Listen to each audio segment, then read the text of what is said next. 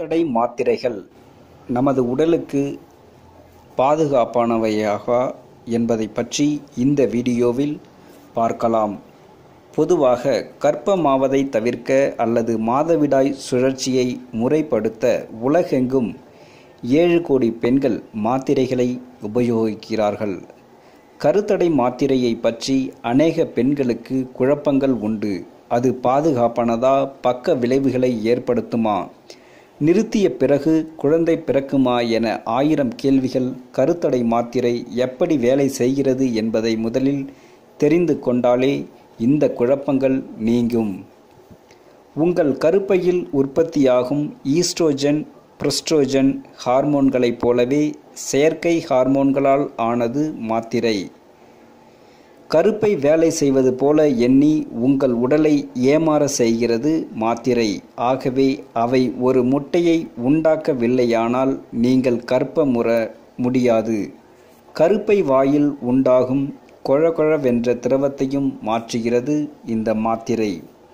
இந்த கொழகொழவென திரவத்தின் வழியே விந்து கருப்பையை அடைவதை தாமதப்படுத்துகிறது. நீங்கள் மாத்திரை எடுத்துக்கொள்ளும் பொழுது ஒவ்வொரு மாதமும் மாதவிடாய் வரும். அதை நிறுத்த முடிவு செய்தால் எதிர்காலத்தில் உங்களுக்கு குழந்தை உண்டாகும். மார்க்கெட்டில் கிடைக்கும் பெரும்பாலான மாத்திரைகள் இருபத்தி ஒரு நாட்கள் டோஸ் திட்டம் முறையாகும்.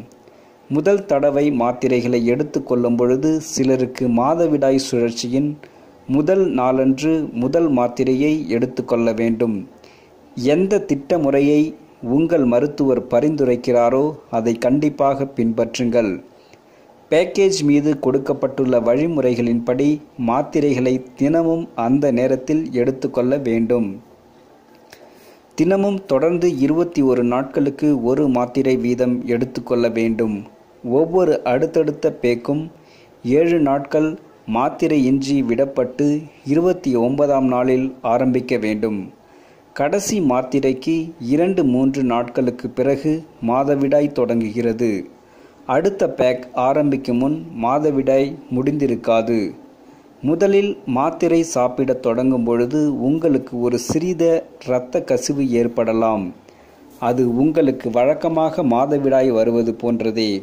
தலைவலி வாந்தி குமட்டல் காண்டாக்ட் லென்ஸ் போட்டுக்கொள்வதில் சிரமம் போன்ற வேறு சில ஆரம்ப சிறு பக்க விளைவுகளும் இருக்கலாம்.